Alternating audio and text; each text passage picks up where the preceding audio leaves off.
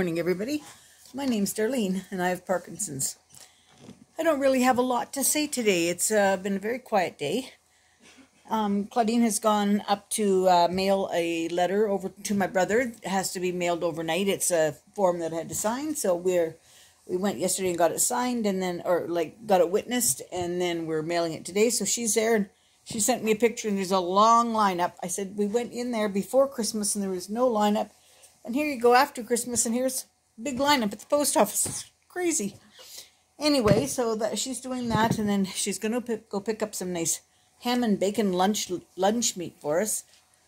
We have leftover chili, and we're gonna have leftover chili and Kaiser buns with this ham and bacon loaf. I love that ham and bacon loaf. You know, it's it's a really nice deli meat, and I haven't seen it very many places. And one of the places that they sell it is at the Sobeys Deli and when I came back to town, I said, Oh, that's good. We'll be able to go there and get that again because they didn't have it at the Sobeys in Bridgewater. And I went and they didn't have it. And it's now been, I think we moved here in 2016. It's 2022. So that's uh, six years. And they finally had got it. And I said to Claudine, Oh my goodness, look what they've got. So she's going to go and get us a little bit tonight and, and we'll have these lovely Kaiser buns. And uh, let's see, what else are we doing? Uh, Bill was waiting for a um, Amazon parcel. He wanted a DVD set. He likes to just watch DVDs instead of movies. Like he likes to watch a whole series of things. So we every once in a while just buy a DVD set and put it up on the shelf. He's got lots and lots of them. He watches them over and over. Eh? But anyway, so he's waiting for that. It's supposed to be coming today. Um, I ordered some bins and a little cart to try to uh, organize the linen closet. It's just when you got two people worth of linens up in there, it's very congested. So we're going to organize it better. And then the uh, lounge room that we have upstairs, which is a third bedroom upstairs, we made it into a little lounge so that Bill could have his computer desk and his uh, television and stuff so he can sit up by himself watch his shows and he's not bored with the lady talk so anyway he is up doing that. And um, I thought, well, what was too much for the linen closet, I'd put over into the closet in the other room. And it's nice if you have bins to organize it. It's just better than just putting it right onto, well, they don't all have shelves. So, the linen closet has shelves, but the other one is like a wardrobe. It has hangers. So, I thought that that would be a good thing for us to set our minds on next. I, I think that will be next week's task, getting those closets organized. I think that's going to be next week. Oh, I'm sorry, I'm on the move today. It's I'm jumping all over the place, so not much I can do about it. I do want to get started on my headboard um, that I'm going to be making, and I'm quite excited about it, but I need an, a larger piece of cardboard. And um, so once I get the larger piece of cardboard and get it cut, then I can get started on it have all the parts I think I need for it, and you know that's good. My my flowers that had adorned Belle so beautifully. Belle was my scooter for those of you who are new. Um, because we can't use the scooter in the winter, I've got the uh, uh, flowers just wound around my tripod. And uh, they're looking a little forlorn, even though they're stuffed. They're looking a little bit forlorn. I'll need to perk them up a bit. You would never know that it was winter here when I'm wearing sleeveless. But that's me most of the time. If I go outside, then I bundle up. But when I'm inside, I'm hot stuff. I, I keep myself going.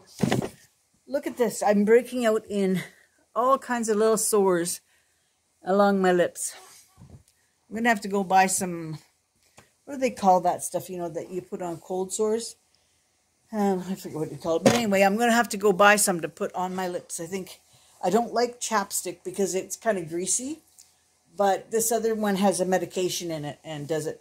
Somebody also said once if you used coconut oil that you could do that. So I, I might have to try that. Just realized I'm rambling on here awfully quick. I should calm down. Sometimes I do that. You know, I get excited. I get talking to people and I start to ramble on and you know it's an it's an annoying habit for other people to have to listen to but anyway now let's see we're having leftover chili and a buns and lunch meat for supper. There's nothing too much I have to do there. I want there was something I was going to make that just required the mix master. What was it? I said to Claudine I could do that. Huh? What, what the devil was it that needed just the mix master? Huh. Oh, I think she was going to make banana. Oh, I know what it was. She was going to make banana bread. So I said to her, "Well, I can, I can, you know, put everything in the mix master." She goes, "I'll give you the job of mashing bananas. You should be able to handle that." Good heavens, mashing bananas is a big job. She's a hoot. She is a hoot. She and then she'll say to me, "I don't want you taking your own pills because you'll drop them. I will put them in your mouth." I said, "What about the nights that you're out in the, the garage and stuff?" playing cards with the girls. I said, You're not going to want to come in and give me my pills. She comes in and gives me my pills. So today, she was having a little nap in the afternoon, and my two o'clock pills was coming around. She says to Bill, She says, Can you put three of those little yellow tablets for mom? So he brought them out and he put them in my little container here, and I saw, Oh, it's two o'clock, and you take those. And my little Alice machine reminded me and I picked them up and popped them in my mouth. One stayed in the tray, one got in my mouth, and one fell somewhere. Never could find it. I said, and I mean, we worry because we have the dogs and stuff, you know, so that's kind of scary. Anyway, I want to tell you something about the dog. You've all seen the dog. Y'all know how big of a dog she is. She's like 80 pounds or something. She's a big dog. But she is so friendly. She's so beautiful.